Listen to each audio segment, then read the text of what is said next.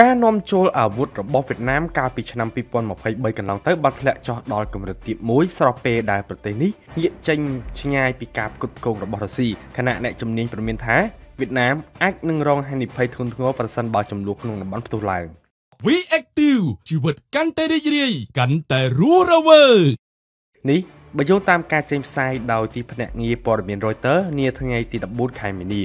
ចំណែកបើតាមទិន្នន័យពីវិទ្យាស្ថានស្រាវជ្រាវសន្តិភាពអន្តរជាតិទីក្រុង Stockholm SIPRI បានឲ្យដឹងដែរថាកាលពីឆ្នាំមុនវៀតណាមមិនបានដាក់ចេញប័ណ្ណបញ្ជាឬគម្រោងទិញអាវុធទំនើបថ្មីនោះទេបើទោះបីជារដ្ឋាភិបាលទីក្រុងហាណូយមានគោលការណ៍បញ្ចេញថវិកាប្រមាណជាង1000លានដុល្លារក្នុងមួយឆ្នាំសម្រាប់មុខព្រួយលើការទិញអាវុធក៏ដោយទិន្នន័យបង្ហាញទៀតថា ការនាំចូលអាវុធក្នុងឆ្នាំ2023របស់វៀតណាមមានបរិមាណទាបបំផុតមិនធ្លាប់មានឡើយចាប់តាំងពីឆ្នាំ2007មកពលខុសប្លែកគ្នាខ្លាំងពីឆ្នាំ2020ដែលកំពុងផ្ទុះជំងឺរាតត្បាត COVID-19 ទៅទៀតដែលនៅពេលនោះឥណ្ឌាបានចែកចាយអាវុធយ៉ាងសម្បើមដៃដល់កងនាវាចយវៀតណាមពាក់ព័ន្ធនឹងបញ្ហានេះដែររដ្ឋាភិបាលវៀតណាម បានបដិសេធមិនធ្វើអត្ថាធិប្បាយជំវិញមូលហេតុនៃការធ្លាក់ដៃទិញអាវុធចូលប្រទេសនោះទេប៉ុន្តែមន្ត្រីកម្ពុជាម្នាក់ក្នុងក្រសួងការពារជាតិបានលួចបង្ហើបកាលពីខែមករាថាប្រទេសវៀតណាមបានឈានដល់កិច្ចព្រមព្រៀងនាំចូលអាវុធជាច្រើននៅឯពិព័រណ៍យោធាកាលពីខែធ្នូឆ្នាំ